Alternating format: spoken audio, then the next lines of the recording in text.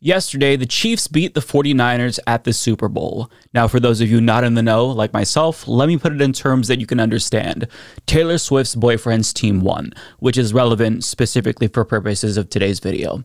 Now, in the lead up to the Super Bowl, there were these unhinged right wing conspiracy theories about how Biden was somehow orchestrating this entire victory for the Chiefs in order to pave the way for Travis Kelce and Taylor Swift to endorse him. It's an incredibly goofy story. I did an entire video about it if you want to check that out. But Biden's team jokingly leaned into this conspiracy theory in a couple of ways. First, he referenced it in a TikTok video that his team released yesterday. Jason Kelce or Travis Kelce? Mama Kelce. I understand she makes great chocolate chip cookies. Deviously plotting to rig the season so the Chiefs would make the Super Bowl, or the Chiefs just being a good football team? You get in trouble if I told you. So, I mean, that's fun, right? He's taking a page out of John Fetterman's book and embracing silly conspiracy theories about him. But after the game was over, his social media team tweeted this Dark Brandon meme with the caption, just like we drew it up. Now, in a vacuum, there's nothing wrong with his tweet, but unfortunately for him, as the President of the United States, this came off as extremely tone deaf for the fact that Israel, the government that he's funding and supplying weapons to, committed a massacre as that tweet went out, as the Super Bowl was taking place. And people were quick to point this out. For example, Owen Jones tweeted Palestinians were picking up the body parts of their loved ones slaughtered by U.S. supplied bombs when Biden's team posted this. Also, Jewish Voice for Peace tweeted Tonight, the Israeli military carried out a devastating and deadly assault on Rafah, a safe zone where displaced Palestinians were sheltering. The attack was possible because Biden keeps sending weapons to a genocidal government. Meanwhile, he's doing this. Z Squirrel writes, the genocidal Israeli regime that Genocide Joe is funding and arming is right now, at this moment, mass murdering, beheading, maiming Palestinian babies and children in Rafah. Body parts are strewn across streets and buildings, and this is what the White House decided to post. And there's more, but you get the point.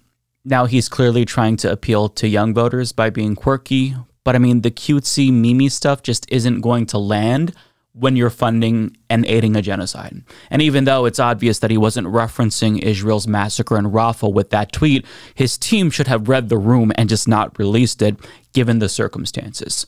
Now, Biden has tried to placate people concerned by reportedly seething privately about Netanyahu, and from time to time, we'll get leaks such as the following. NBC News reports Biden has said he is trying to get Israel to agree to a ceasefire, but Netanyahu is giving him hell and is impossible to deal with, said the people familiar with Biden's comments, who all asked not to be named. Quote, he just feels like this is enough, one of the people said of the views expressed by Biden. It has to stop. Biden has in recent weeks spoken privately about Netanyahu, a leader he has known for decades, with a candor that has surprised some of those on the receiving end of his comments, people familiar with him said. His description of his dealings with Netanyahu are peppered with contemptuous references to Netanyahu as this guy, these people said. And in at least three recent instances, Biden has called Netanyahu an asshole, according to three of the people directly familiar with his comments. Now, in theory, that sounds good to somebody who hasn't been paying close attention to this.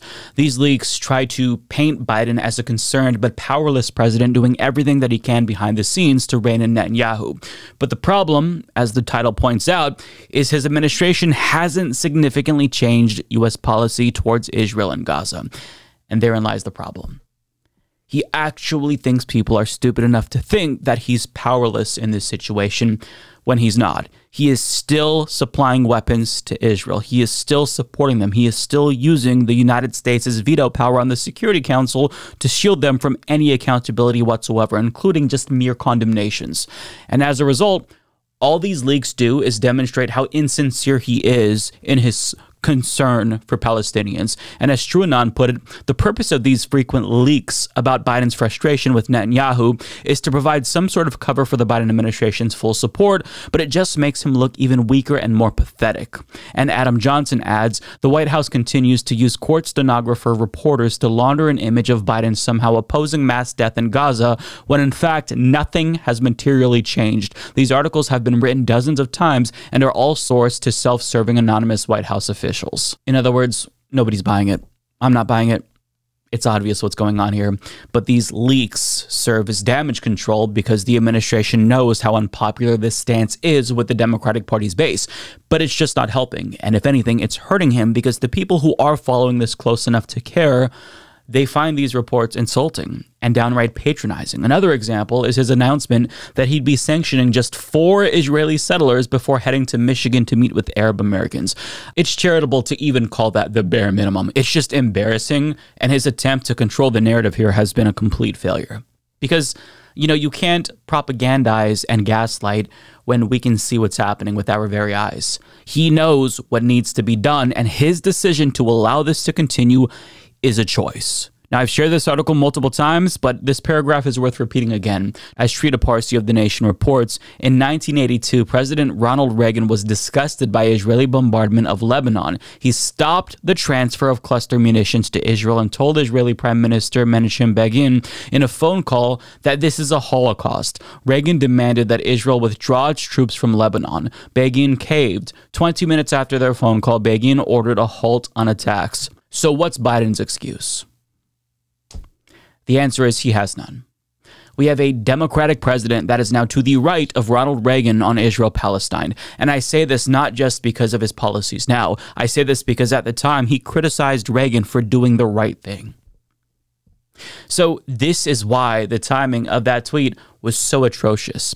Because as he's watching the Super Bowl comfortably and enjoying himself, Israel is making use of the weapons that he gave them at a time when Americans weren't paying attention. As this viral tweet put it, they bombed Rafah during the Super Bowl so no one would notice. This is a genocide. And this is a move that comes after Netanyahu promised safe passage to people there. Now you can see the desperation in this woman's face as she reacts to their bombing. And in Arabic, she's saying, Why are they bombing us? They told us this was a safe zone. They told us to come here. So why are they bombing us? But Netanyahu predictably broke that that promise. Now, there was an effort to rescue hostages, but it came at an extreme cost to innocent Palestinians. The Washington Post reports the Israeli strikes that lit up the night in Gaza's southern city of Rafah on Monday sent pulses of fear through the 1.4 million Palestinians for whom that strip of land has become a shelter of last resort. Israel's army described the overnight attacks as cover for a special forces mission to rescue two elderly Israeli Argentine hostages. The operation succeeded, freeing Fernando Simon Marman 60 and Louis Har 70. The human cost was massive. At least 67 people were killed throughout the city, the Gaza Health Ministry said. A video from a house in Rafah showed the body of a Palestinian girl, her legs shredded into ribbons of flesh. Other footage from the city showed a bleeding boy being carried away and four more children dead on hospital stretchers. 164 people have been killed and another 200 wounded across the Gaza Strip in the past 24 hours, according to the health Health Ministry. The overnight operation in Rafah, a place that has largely been spared this widespread aerial attacks in other parts of the enclave, shocked a bone tired population that has spent months on the move trying to outrun the bombs. Yeah. And I saw the image of the Palestinian girl that they referenced, whose legs were shredded into flesh ribbons. And that's going to stay with me for a very long time. So many images have been burned into my mind, and it's really hard to not think about.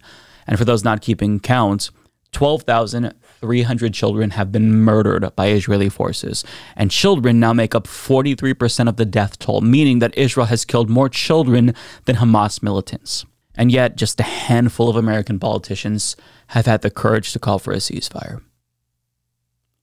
It is so difficult to not feel hopeless when you see so much apathy from politicians in the face of unfathomable pain and suffering. The fact that they don't care enough or don't have the courage enough to just say ceasefire is just, it's really blackpilling, for lack of a better word. Now, we often focus on the children who lost their lives, but the ones who survive they're going to be permanently changed as well. And this was stressed by the chair of the UN Human Rights Committee, Ann Skelton. No child should grow up in fear, pain, and hunger. Yet today, no child in Gaza is free from fear, pain, and hunger. In fact, they'll be considered lucky if they can even survive this war and have the chance to grow up. All children living in the Gaza Strip have lost their childhood. They are traumatized and will forever live with a permanent impact on their mental health. Yeah. And this is something that we often don't think about. You know, it's great that as many people as possible are able to survive, but the ones who do survive they're never going to be the same. And this terrorism is being paid for by our tax dollars. So, in conclusion, Biden's team needs to read the room and maybe avoid shitposting during a fucking genocide. He's not going to win over young voters by memeing his way back to the White House. People want the bloodshed to stop. And until it does, literally nothing else he does or says matters.